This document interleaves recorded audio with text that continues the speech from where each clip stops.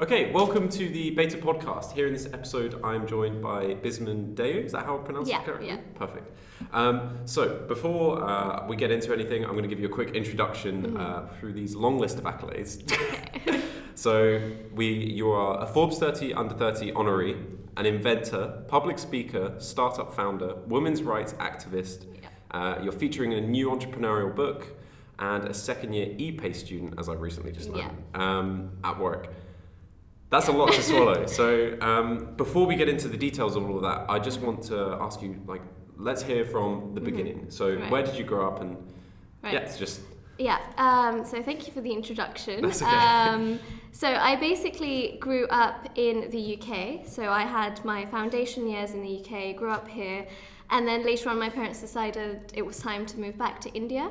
So then I went back and, um, you know, I was, um, I'm still living in Chandigarh, so my parents are there, and then I keep shuttling back and forth. Yeah. Uh, so that's where I grew up. But then... How um, old were you when you um, went Oh, back? I was 11 years old when I went back. Yeah. So I still have a lot of memories um, of Teletubbies and Tweenies. uh, but yeah, that's basically where I grew up. Awesome. So, so your parents, uh, when did they immigrate over to the UK, and what was that? Yeah. Was that because of a career or? Uh, yeah, so my dad uh, was working, is still working in the UK at that time. Mm-hmm. So that's when we moved here. Awesome. So let's move on then to sort of. So, so when you were in school, so what were your what were you like during school? Uh, what were your interests and Yeah. how that? I was okay. So very honestly, in school, I was a very annoying kid, uh, extremely inquisitive, Yeah. the kind of kid that you really don't want to be around because she asks way too many questions for comfort. But I think that's kind of where um, you know curiosity feeds into Mm. innovation, is what I feel. And that's where I started asking questions and started getting to be interested in a lot of things. Yeah. So yeah, I was basically all in all very curious.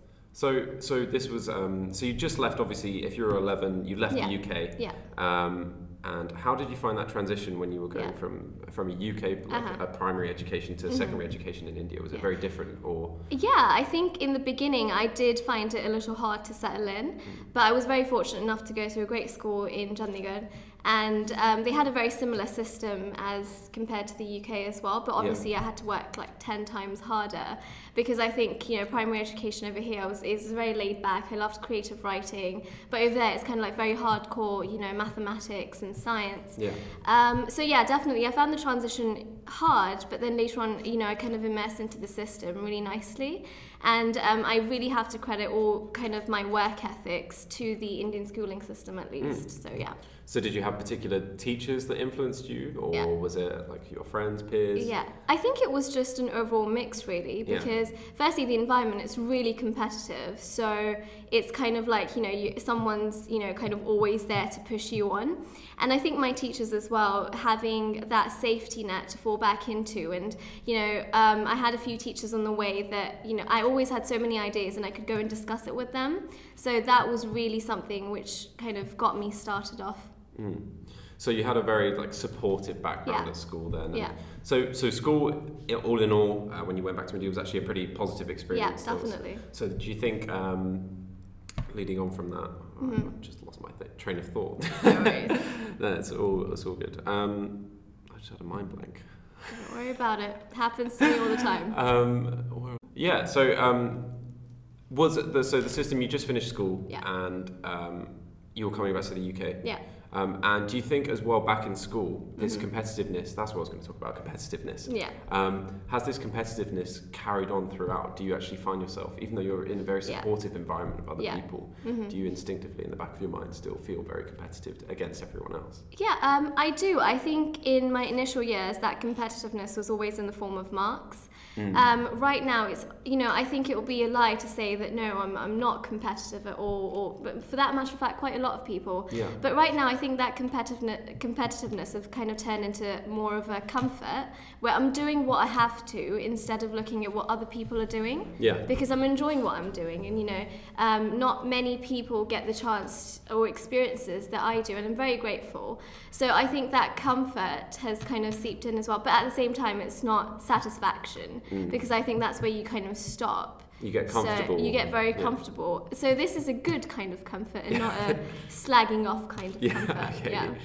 So, um, when you were at home and also Yeah. now, Yeah. have your parents been a, Yeah. a big impact on you? Are they very Yeah. supportive? Have they been tough Yeah. on you? Yeah, Um, oh, definitely. I think I have to really give everything that I am today to my parents Mm. um, because it's so important, at least the way that I see it. Um, that when you have a very strong support system back at home, it does translate onto the workplace as well because you know you're Yeah. backed all the time.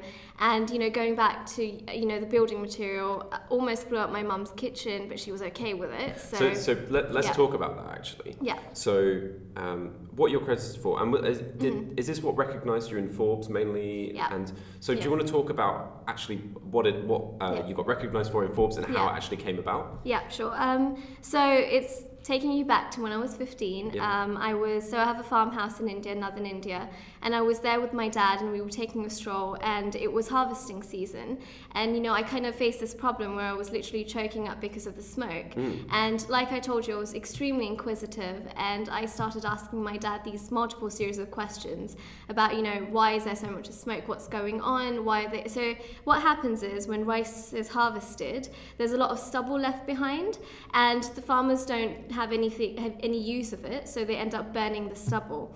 So it's basically waste material which renders the top layer of soil infertile as well. Mm. And I went back and researched, and it turns out that that you know the rice waste, the rice waste and straw, has great properties like great content of silica, making it waterproof and termite resistant.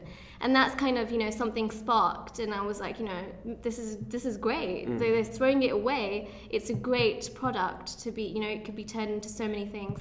Um, and you know, my, I, I'm very grateful to my mum for providing me with all the support, and um, you know, I'm not disowned just yet. um, so yeah, so I went back and I did all the experimentation, and that's the point in time I came up with Greenwood, which is a sustainable building material which is used to provide affordable housing to the poor people um, and underprivileged. So that's kind of where the journey started from. And, you know, rippling in, um, I had um, the editor of Forbes Asia write an article about me, about my journey. And then later on, um, you know, I think we'll talk about networking later into the series. Um, you know, that's when later on she was the one that went and recommended me onto the Forbes 30 under 30 Yeah. And that's how I made it there. Wow. So let's talk about the experimentation process of that. Yeah. How long is this journey uh, Yeah. of, of the building material and the development of Uh-huh. that? How many times did you fail, and how did you Yeah. pivot back from all those sort of? Oh, I think I think I'm still I'm still on that journey really, and it's been about four years now. Um, it was basically starting off with a very fundamental core concept, and then later on discovering different elements of it and putting it all together. And you don't stop, you know, when you when you think you've got it, that's a prototype, but you have to. I think I went through tons of prototypes to get to something which I think is you know okay right now. And I think also you change your prototypes according to the environment you're in because changing needs of you know you I want and now at this point in time I want to lower the carbon footprint of the product. That's also because of the coming in of you know talks about sustainability etc. Yeah. So um, yeah, so that's basically how it went, and yeah. Are you, are you uh, using the material today then? Yeah. Is it being used in practice, and can you talk about Um, maybe the yes. scale of what's going on? Yeah, so not as of now because um, I'm juggling too many things. Yeah. So, um, but definitely, I think about a few years down the line, I'd want to produce it commercially. I was approached by a lot of people um, from around the world, but you know, I didn't really want to give it up to someone because it's literally like my baby Mm. Yeah. because I've seen it grow. Your secret formula, like. yeah, there we go. yeah.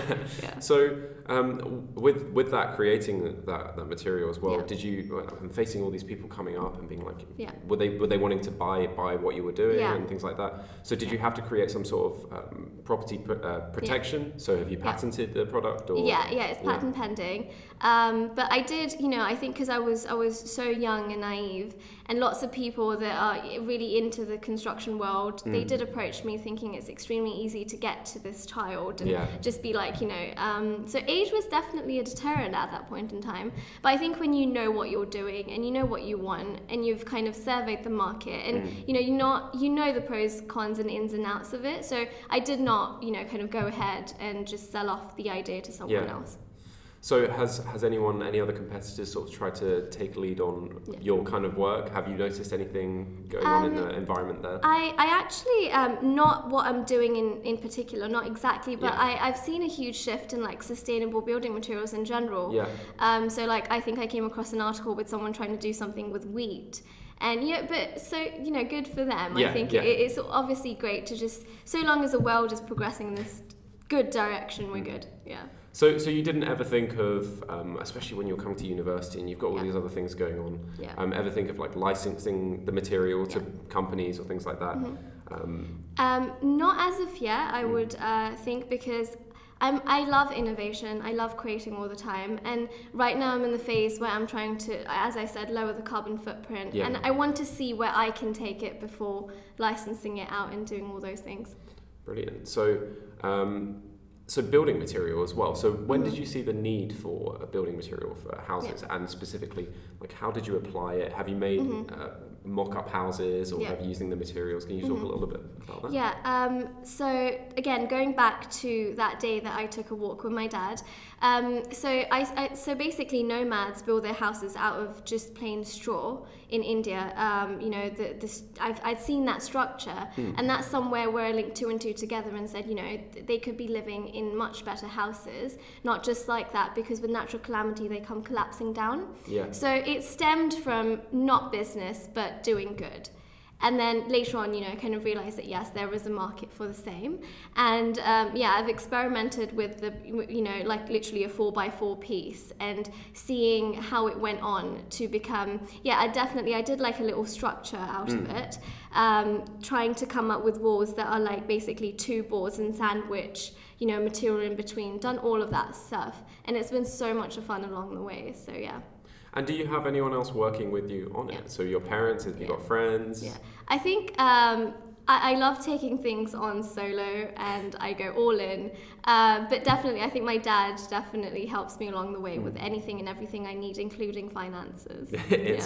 So, how much? I mean, you don't have to disclose, but how, yeah. how much investment has it taken? Has it taken a lot of mm-hmm. resources for you to do yeah. the research? And... Actually, it's very surprising. Not not a lot because I was very fortunate enough to. Um, so this is the next thread to the to the story, mm-hmm. wherein I entered a competition called the uh, Junior Achievement Social Innovation Relay and that was a competition which kind of really changed the way I thought and the course of my life, basically. Yeah.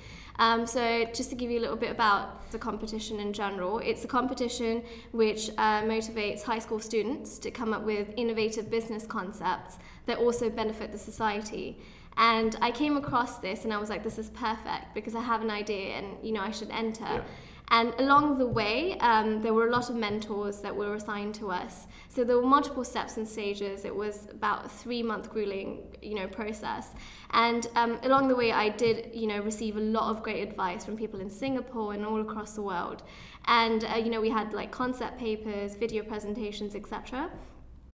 And then, um, you know, very fortunately, I'd won the competition among 43,000 students, and that kind of got me onto the path of innovation that's that competitiveness being 43 other yeah. 43,000 other 43, students wow. numbers are important yeah so I suppose let's let's continue the story yeah. from there then yeah. so you're, you're, making this material yeah. being recognized in Forbes yeah um, where was your next sort of turn in the story what was mm-hmm. the the next thing that came up yeah so um, so Forbes 30 under 30 came much later actually in, oh, okay. just last year um, but then what happened from there on was I was given a chance to go to a conference in Tallinn, Estonia.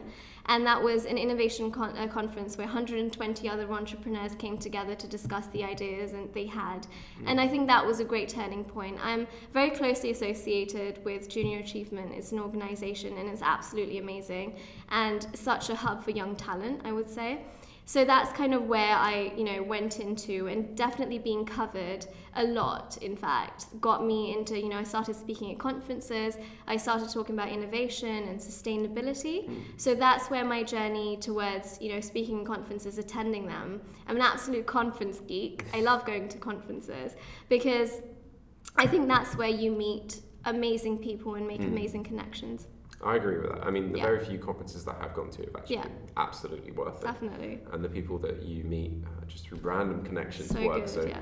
I suppose that's one thing like viewers watching can take away is like yeah take advantage of those opportunities. I mean, yeah, I agree. Um, in the podcast before this with Tim mm-hmm. and Ambrose, they both met um, at a conference that Tim was actually uh-huh. speaking at. Uh-huh. Um, and it was just, you know, it's crazy how these things can happen when you're in a room full of like-minded people. Yeah, um. So, as well, speaking about conferences, then, mm-hmm. how how did um, obviously you were very inquisitive from a young age, but mm-hmm. what else gave you the confidence for when it was whether it was public speaking yeah. and, and just you know putting mm-hmm. yourself out there and meeting these yeah. people?